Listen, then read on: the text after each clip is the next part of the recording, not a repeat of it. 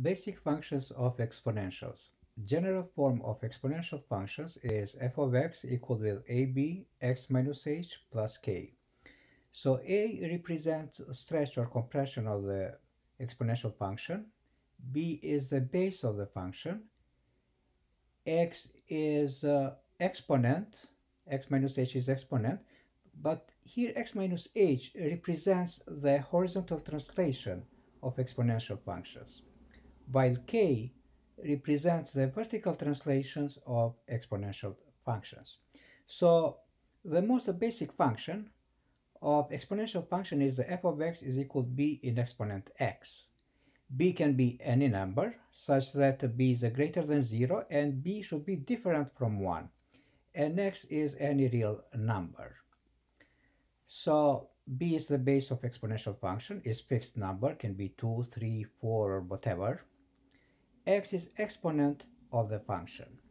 So now let's go and see how we can graph how we can graph the the exponential growth. The exponential growth function happens when b, the base of the function, is greater than 1. And we are taking here one very basic function. Uh, to not call the parent function because there are uh, there are many uh, parent functions. For example, 2 in exponent x is different from 3 in exponent x. There are two different parent functions, two different families, but they are very similar. Anyway, uh, let's take here uh, one example, the exponential growth, and when f of x is equal with 3 in exponent x. How we can graph it? First of all, x is an independent variable, then we can take uh, some values, some points near the origin. Uh, we take in 2, 1, 0, minus 1, and minus 2. Those are enough points how to graph it, how to sketch the graph of the exponential functions. But we took in some other numbers to analyze a little bit deeper those functions. For example, if you have a 2 and you plug here 3 in exponent 2 is a 9, so that's how we got. And if we plug in instead of the x1, 3 in exponent 1 is 3, and 0. If we plug in a 0 here, 3 in exponent 0 is 1, so is here. So is the intercept of the function.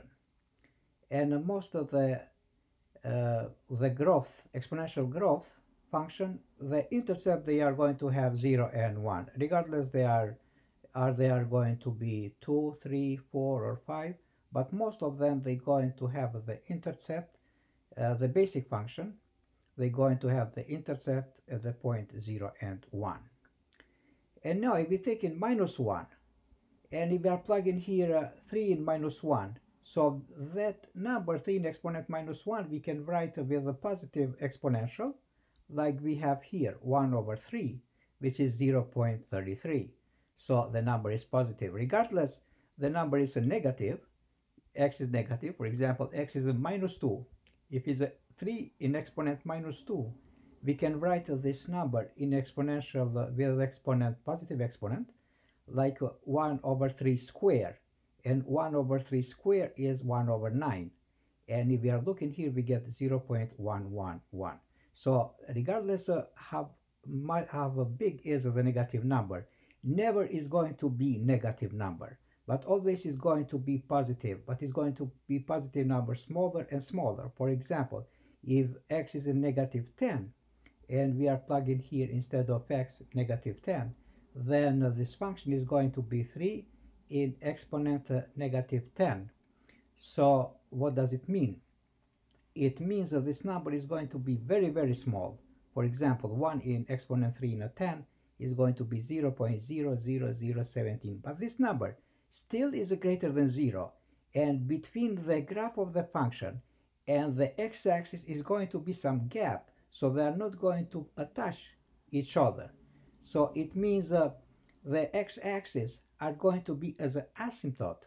So y equal to 0 is going to be a horizontal asymptote that does not allow the graph of the function to go uh, to go to intercept this function to go through the function to go through the x-axis but always is going to stay over the x-axis.